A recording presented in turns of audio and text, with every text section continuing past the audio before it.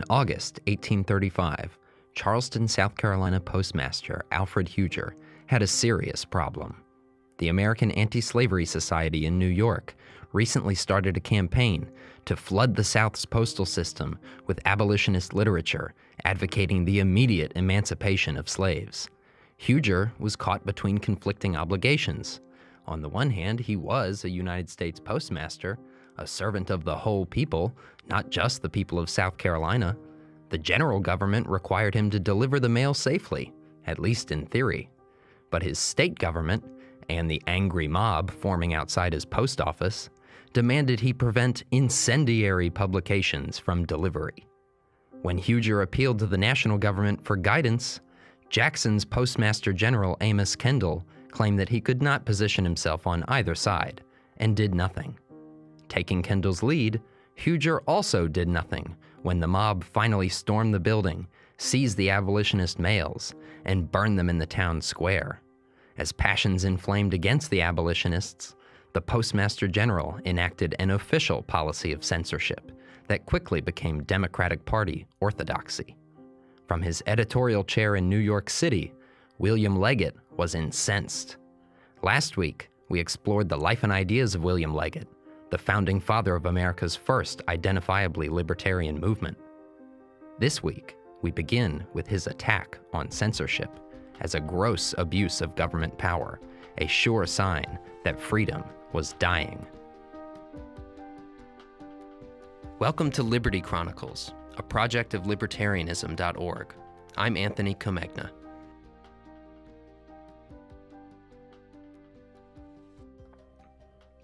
Leggett argued that Democrats were artificially containing abolitionism for the benefit of planter aristocrats, violating the rights of white and black Americans alike.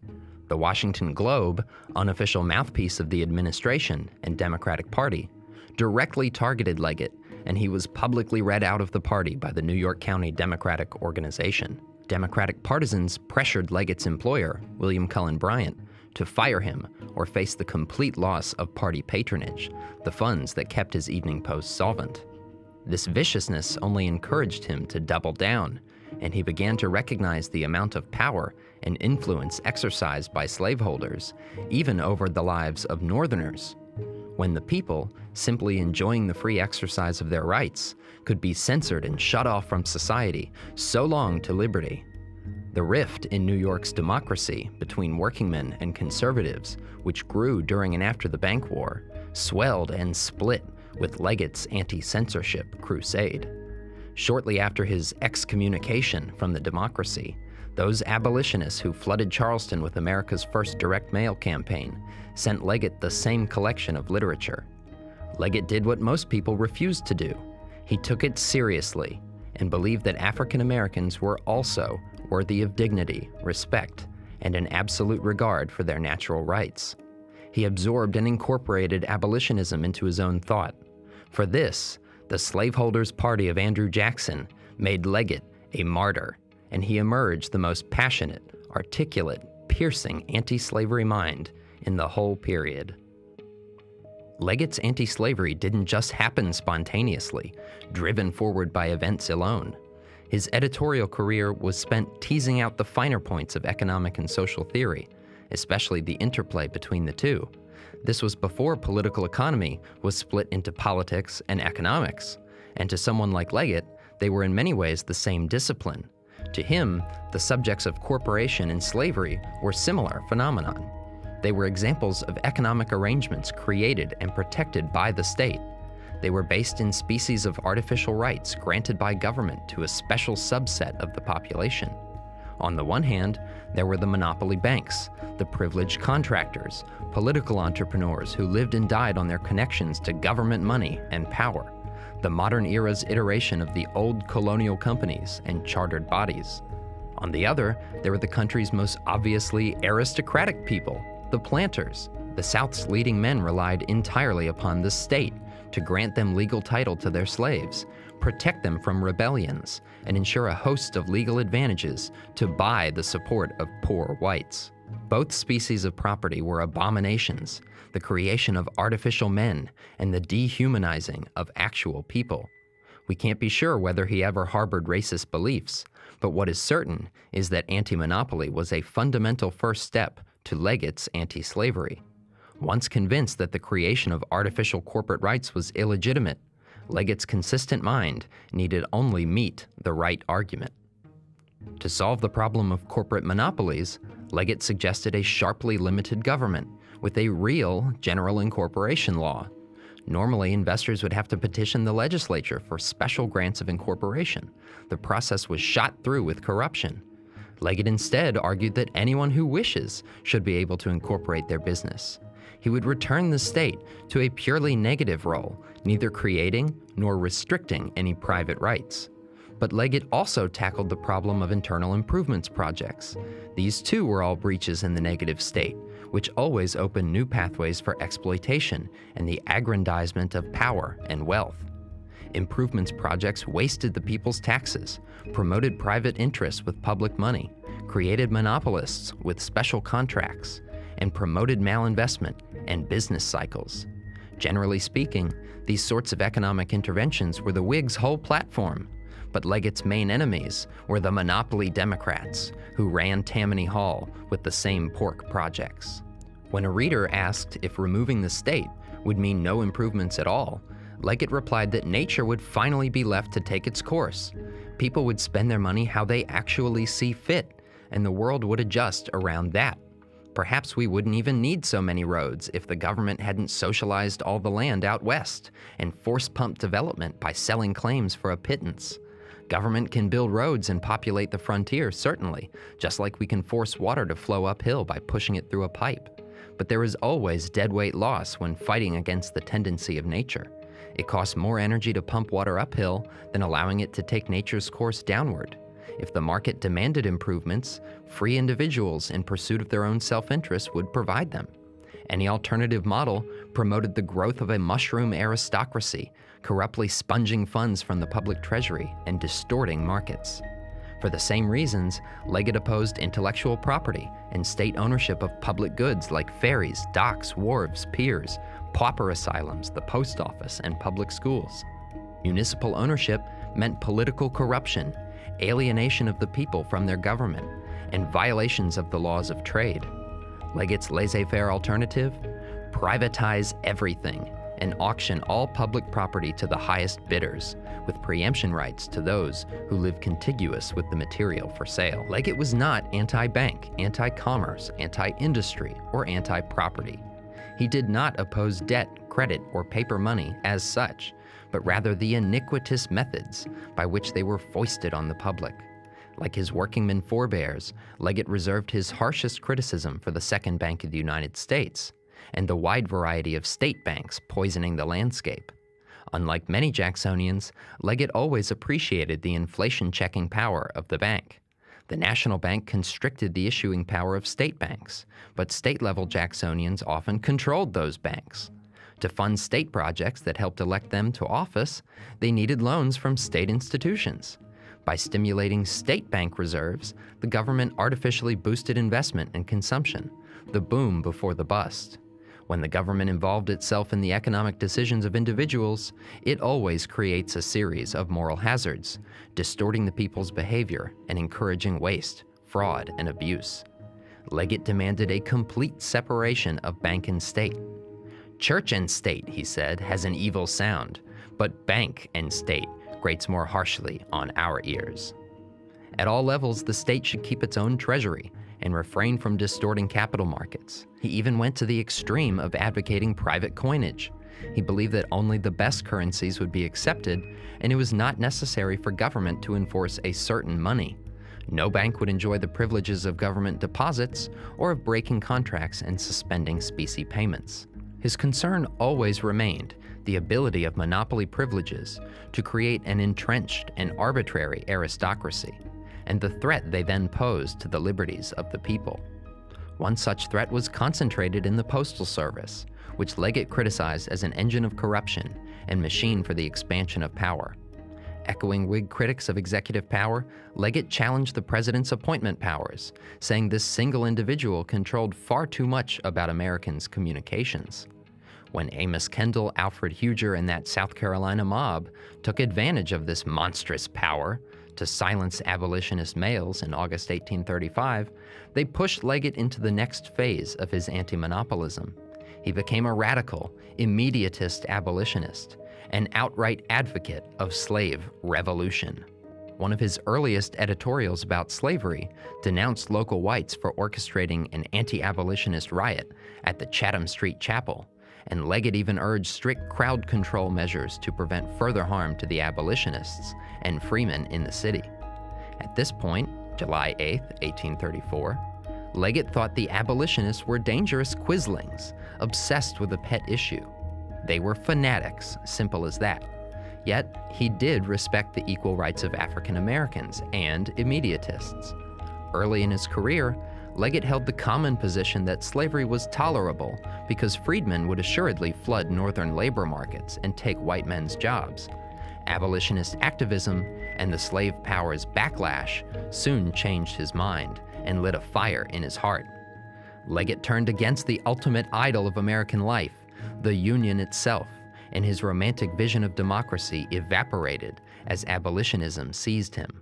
By 1837, he considered abolitionist a title of honor. There was no truer or loftier devotee to the great cause of human emancipation than the abolitionist. New York, Plain Dealer, 14 January 1837. Progress of Fanaticism. The political braggarts of the South continually hold up secession as a bugbear to intimidate the people of the North from the exercise of one of their most sacred rights. If this vain threat were earnest instead of mere bravado, if the phantasm were corporeal substance instead of shadow, we would rather, far rather, encounter it in its most horrid form than pay the price which we are told will alone purchase security. We cannot give up freedom for the sake of union.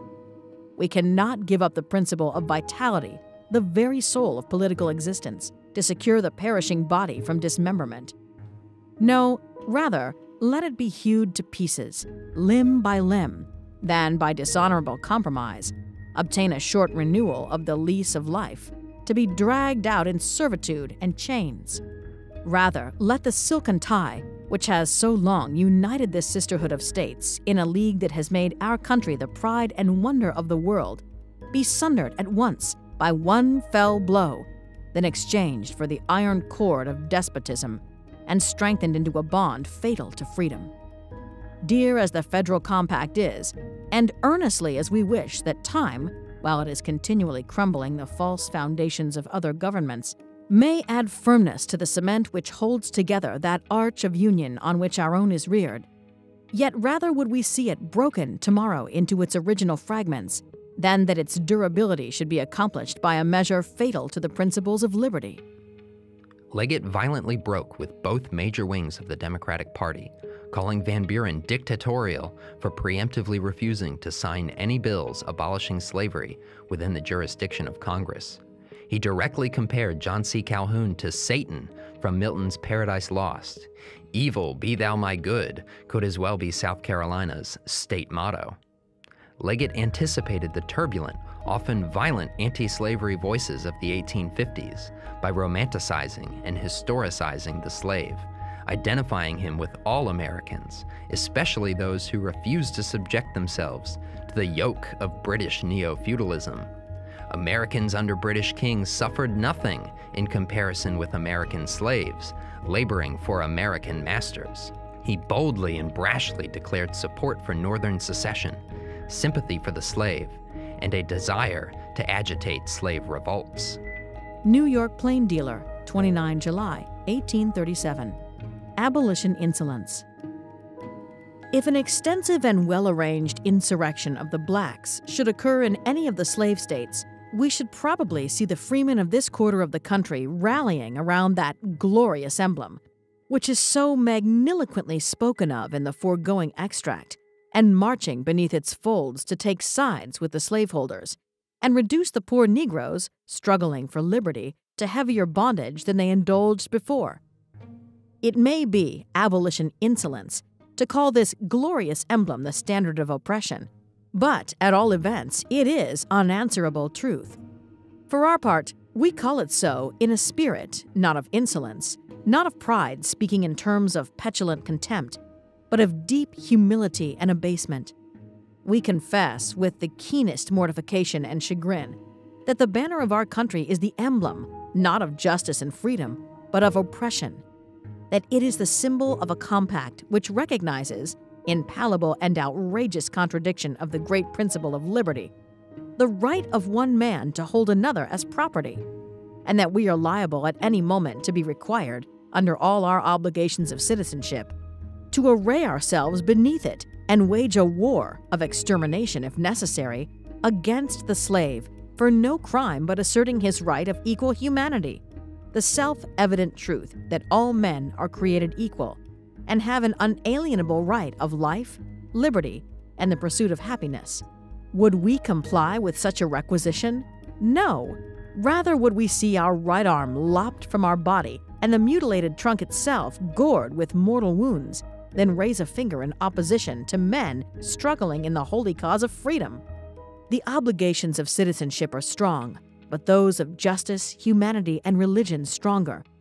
We earnestly trust that the great contest of opinion which is now going on in this country may terminate in the enfranchisement of the slaves without recourse to the strife of blood. But should the oppressed bondman, impatient of the tardy progress of truth urged only in discussion, attempt to burst their chains by a more violent and shorter process, they should never encounter our arm, nor hear our voice in the ranks of their opponents. We should stand a sad spectator of the conflict, and whatever commiseration we might feel for the discomfiture of the oppressors, we should pray that the battle might end in giving freedom to the oppressed. Leggett's brand of anti slavery not only surpassed the most fervent of Democrats, Whigs, and even Liberty Party voters, but it took him beyond most anarchist pacifist Garrisonians in 1836, after a trying battle with a chronic chest illness, Leggett resigned his position with the Evening Post to begin his own short lived papers, The Plain Dealer and The Examiner. In 1839, Leggett prepared to depart for the United States of Central America as the Van Buren administration's diplomatic agent, a sop to the Leggett fanatics in New York to keep them loyal. It was hoped that a temperate climate would prolong his newly valuable life as much as possible. Before he could leave his city, William Leggett died at the young age of either 37 or 38.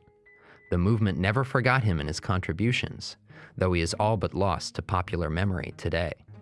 Those touched by his ideas and passion for liberty were transformed in the process and carried figurative pieces of Leggett with them wherever they went.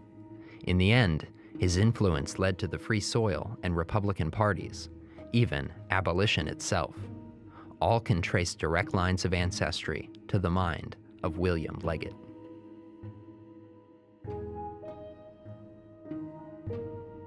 Liberty Chronicles is a project of libertarianism.org. It is produced by Tess Terrible. If you've enjoyed this episode of Liberty Chronicles, please rate, review, and subscribe to us on iTunes. For more information on Liberty Chronicles, visit libertarianism.org.